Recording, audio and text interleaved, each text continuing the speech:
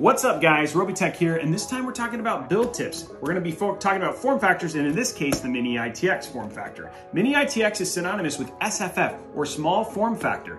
In this case, this is the smallest, and because of it, it's the most complicated because it's infinite power, bitty living space. Now, airflow is going to be a major concern here because you're going to have a ton of components in a very small, tiny space. So make sure you pay attention to where your fans are.